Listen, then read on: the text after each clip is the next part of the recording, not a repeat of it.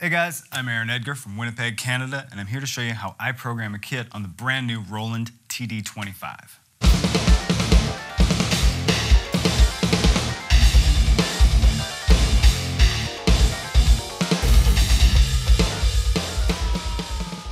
So let's start building a kit. What we're gonna do is we're gonna start with a drum set that's already close to what I have in mind for this particular sound. We're gonna start with Hard Rock 2, and let's start up with the bass drum.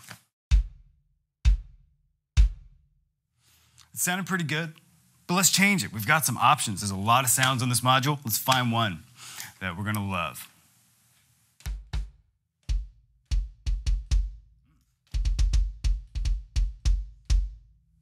It's pretty heavy. Let's see what else we have.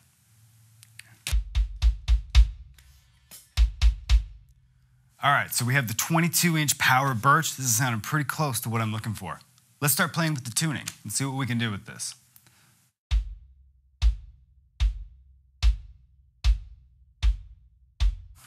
The tuning at zero seems to work perfectly for what I was looking for. Although those low and high options were amazing and fun, let's start playing around with our muffling. Let's see what happens when we put on the first setting, which is tape one. So we have a few muffling options with tape. One of them kind of looks like a little bit of a sad face. It doesn't sound sad, it sounds great. Next up, we have blanket.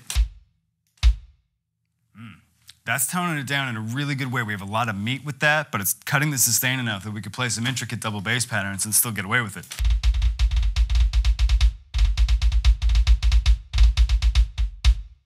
All right, so let's settle on the blanket. I think that sounds great. It's perfect. It's got just enough meat and it's going to be able to handle tech metal if we needed to. All right, so let's start playing around with the snare drum. It's as easy as just pressing the snare button.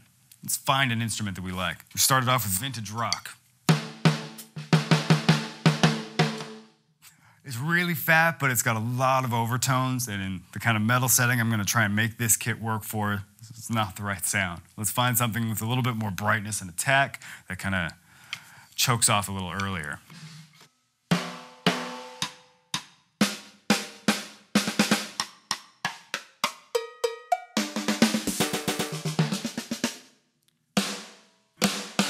I want just a little more meat than that, so let's, let's tune it down a bit.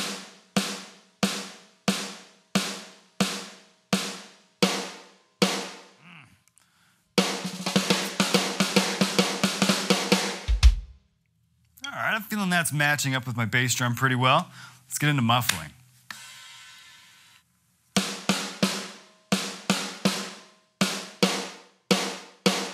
Oh. I think that's the one. Cool. All right, next up, we're gonna have to take a look at these toms. See what we have first. Kind of big and thuddy. Let's see if we can get something that has maybe a little more presence.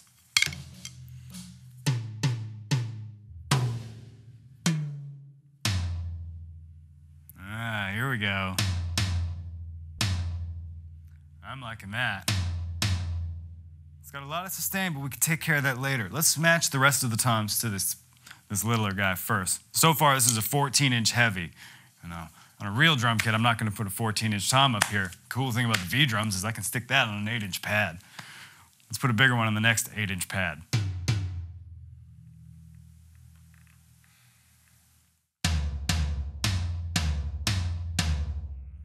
That's what I'm talking about.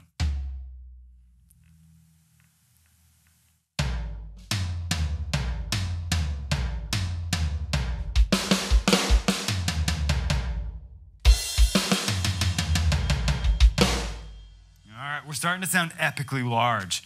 Let's kind of rein these in a little bit.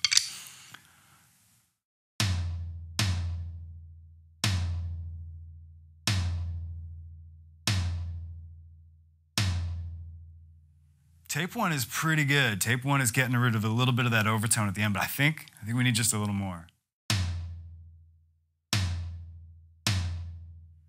That's good. It kind of it opens right up and then it just kind of stops. I'm liking that. Let's see what it sounds like on the rest of the toms together.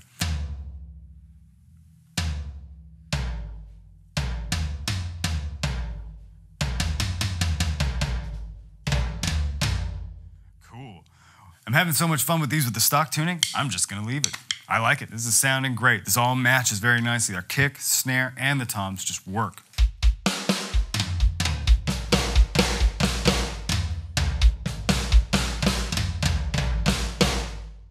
All right, I like it. Let's get into some cymbals. Let's get these guys out of the way first.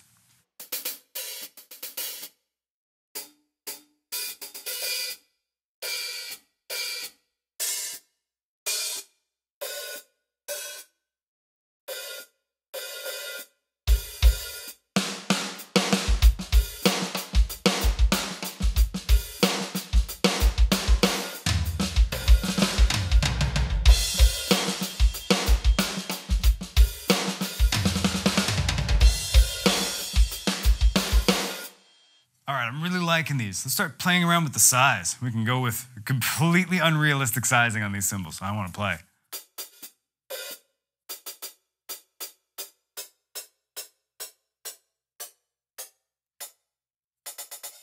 One inch hat bells. All right, 15 is sounding great. They just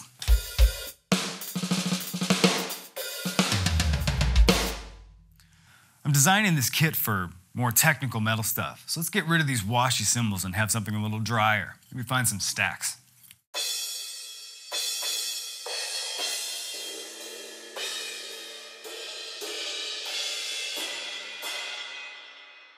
Well, that's kind of neat.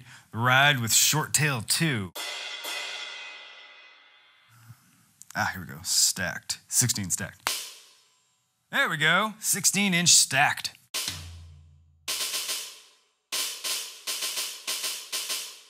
All right, let's tune these guys up.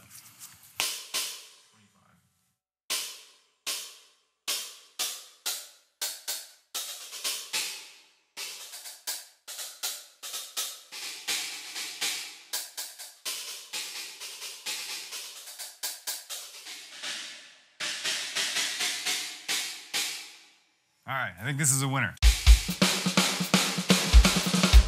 25 inch. I like it. 25 inch stack. Let's make another one.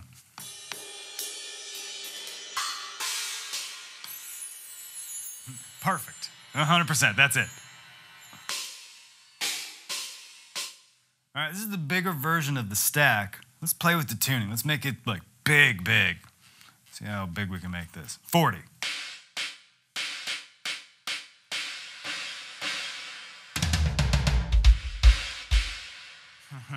It's awesome, but it might be a little much. Let's pull it up just a touch. Ooh.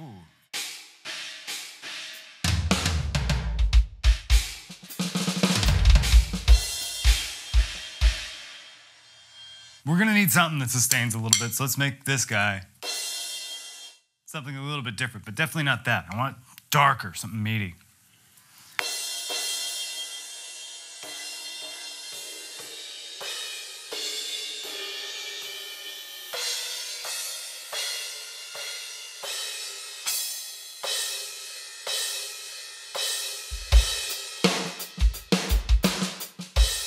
All right, I'm liking this 18 inch dark. Let's play with it a little bit. Let's make it darker.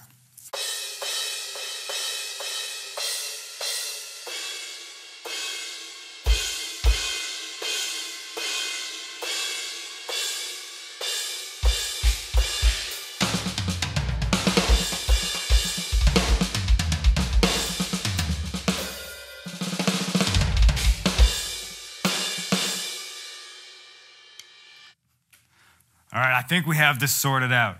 Let's, let's play around with our levels. Let's make sure this gets mixed perfectly.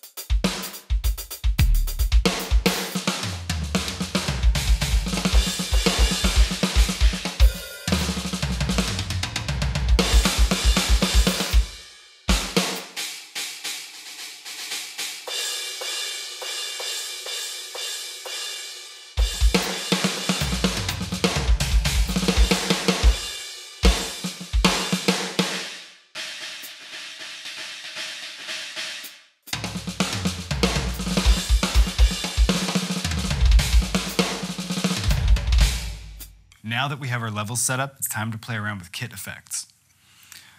All right, so the first thing that we have here is our reverb type.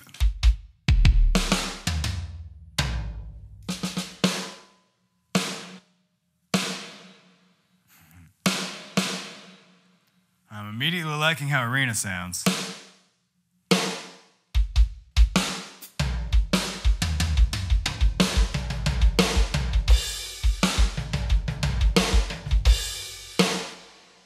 Right, so let's get back to arena here. This is sounding great, but we need to tone it down a little bit to fit in with more intricate music, so to speak. Hmm. Starting to get there.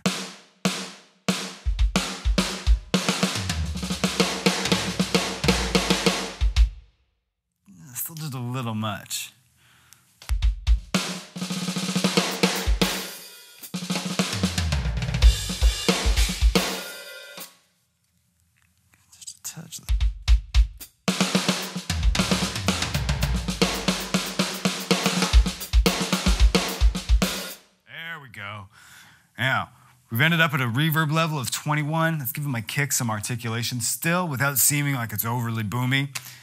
But a great way to check your work and see how it all sounds is to record yourself and then you can play it back. Let's see how it sounds.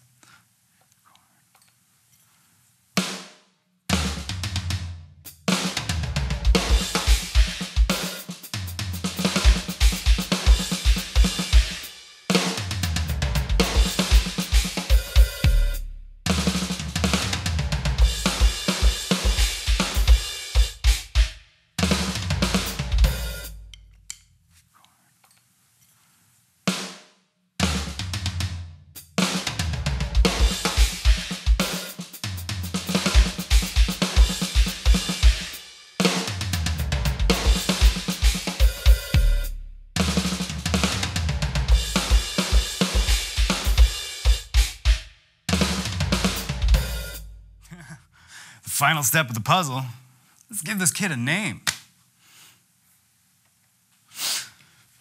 Dr. Stackula. That sounds about right. Let's see what this sounds like in the context of a song.